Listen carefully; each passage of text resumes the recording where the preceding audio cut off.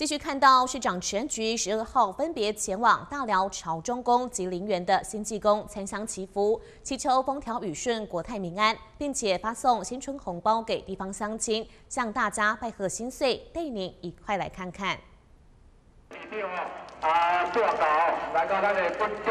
农历春节将至，高雄市长陈菊十二号前往大寮朝中宫参香祈福，并且发送新春红包给地方乡亲，向大家贺岁拜年。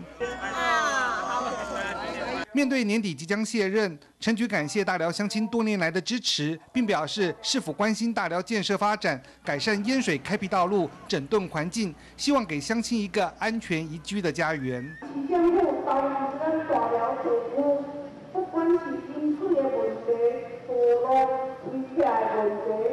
环境迁徙的问题，市政府拢足关心，啊，咱一定爱护咱所有住大寮地区，人一定爱安全好食起，啊，所以今仔日利用这个时间，啊，大家乡亲是大讲感谢。陈菊在庙方陪同下，向神明参香祈福，祈求高雄平安无灾，台湾风调雨顺。随即，市长又赶往林园区新济宫，向保生大帝上香祈愿。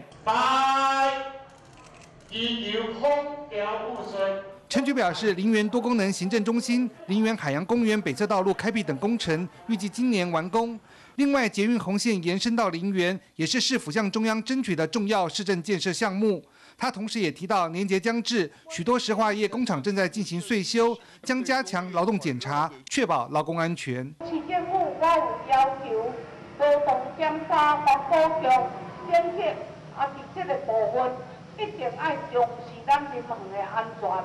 咱林园这个时阵，林园区公所的改建嘛伫进行中，啊，我一定有甲咱乡亲示大个，咱林园区公所哦，啊，要伫今年一定爱互伊完成。林园新济公主祀保生大帝，陈局参拜结束后，并且赠送好运红包，吸引民众大排长龙争相索取，抢占年节喜气，现场气氛十分热络。港都新闻综合报道。